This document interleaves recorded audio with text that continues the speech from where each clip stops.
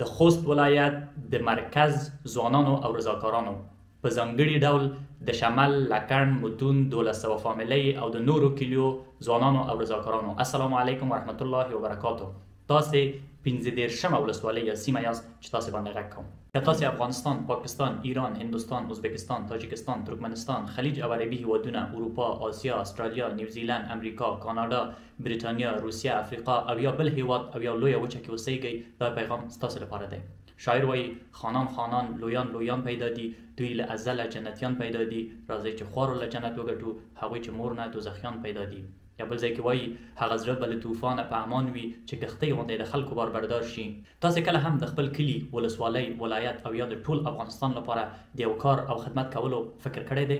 که ستاسو ځواب هو وي نو دا ویډیو ستاسو لپاره دی او یا تاسو فکر کوئ چې د هر کوچني او لوی کار لپاره مونږ او تاسو مؤسساتو نړیوالې ټولنې او یا ملګرو ملتونو ته په تمه شو تاسو به پوښتنه کوئ چې ولې همدغه یو پیغام د هرې ولسوالۍ لپاره بیل بیل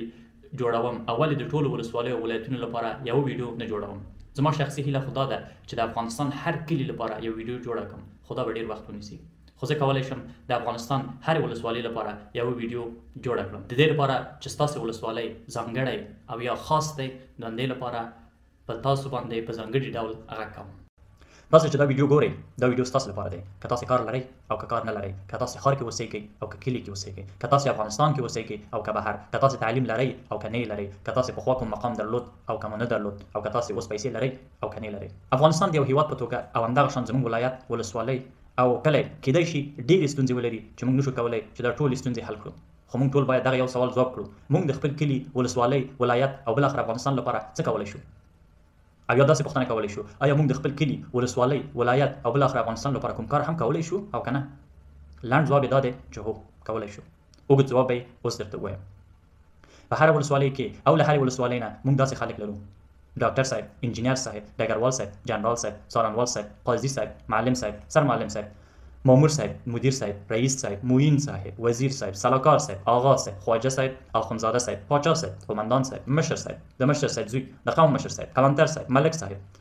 قريدار صاحب وکيل صاحب منشي صاحب اقتصاد پوه صاحب د زراعت متخصص صاحب سوداګر صاحب دوکاندار صاحب صراف صاحب حاجي صاحب مولوي صاحب شيخ القرآن صاحب شيخ الحديث صاحب مولانا صاحب پير صاحب مرشد صاحب مريد صاحب زوار صاحب کربلي صاحب بهر کې زده کړو والا صاحب اديب صاحب شاعر صاحب او داسې نور دا خلک مې چې اوس یاد کړل او یا داسې خلک چې داسې القاب ونه لري په هره ولسوالۍ کې شتون لري د القابو نه ورهاخوا داسې خلک هره ولسوالۍ او کلي کې شته چې دا القاب نه لري خو د خپل کلي او ولسوالۍ لپاره مخلصانه او صادقانه د خدمت نیت او هوډ لري. څه وکړو او له کوم ځای نه یې پیل کړو؟ د هغو خلکو یو لست جوړ کړئ چې تاسې پوهېږئ چې ستاسو ولسوالۍ او کلي لپاره یو څه کولی شي. پام مو وي چې داسې فکر ونه کړئ چې یوازې د مالدارو او پیسهدارو خلکو لست جوړ کړئ، بلکې د هغو خلکو لست جوړ کړئ چې ستاسې کلي او ولسوالۍ ته د مرستې لېوالتیا ولري. د دوی د اړیکې شمېرې ومومئ او اړیکه ورسره ونیسئ. هغوی ته ووایئ چې تاسې غواړئ یو واټساپ ګروپ او یا هم مسنجر ګروپ جوړ کړئ. پس له هغه نه یو یو کس دې ګروپ ته اضافه کړئ او دغه سوال یې مخ ته کېږدئ چې آیا مونږ د خپل کلي یا ولسوالۍ لپاره څه کولای شو؟ کېدای شي دوی د پورتني سوال لپاره کوم ځواب ونه لري او دلته تاسې کولای شئ ورته خپل پلانونه مخ ته کېږدئ. دې ټکي ته مو ډېر پام وي چې له ډېر کوچني کار او نظر نه پیل وکړئ. دوی ته یې تشریح کړئ چې تاسو د دوی پیسو ته اړتیا نه لرئ، بلکې د دوی ژمنې او اخلاص ته ضرورت لرئ. دوی ته ووایئ چې تاسو یو ځای دا کارونه کولای شئ. هر یو تن ستاسې د کلي یا ولسوالۍ نه چې بهر کې اوسېږي د یو ډالر په اندازه د میاشتې د یو غریب ماشوم قرطاسي مصارف په غاړه واخلي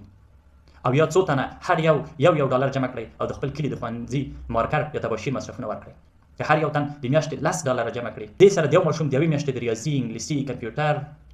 د کمپیوټر کورس فیس ورکولی شي او یا کولی شي په دې باندې د ښوونځي د یو مات شوي هنداره بیرته ورغوي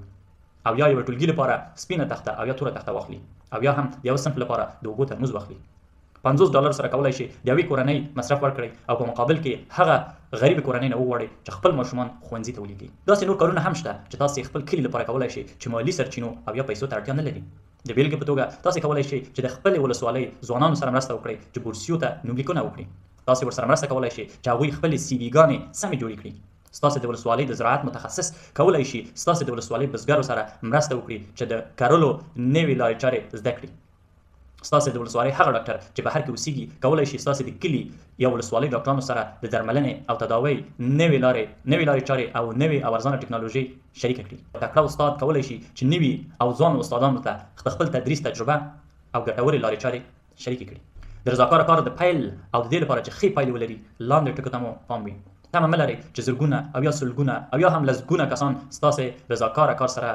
یو ځای شي. تمه مه لرئ چې یو ځل خبرو سره به خلک ستاسې سره یو ځای شي. د ډېرو نه کېږي، دا سخت کار دی، نتیجه نه ورکوي، شکونه او داسې نورو خبرو سره به مخامخ شئ. څو ورځو، اونیو او میاشتو کې د پایلو تمه مه لرئ.